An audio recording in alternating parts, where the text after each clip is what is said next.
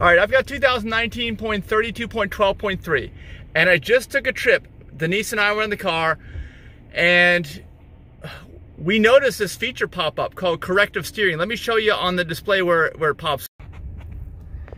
Now, when it happens, it, it pops up right down here, all right? And it shows, it says basically corrective steering being applied is what it says. And it usually happens if you're drifting out of the line. See, I'm in the lanes now, but if you're in the lane and then drifting out slowly. It doesn't matter if there's a you're on a double yellow on your left. Doesn't seem to make any difference. It's happened even when I'm in the, like this in the middle of uh, two lanes going the same direction. It actually applies steering.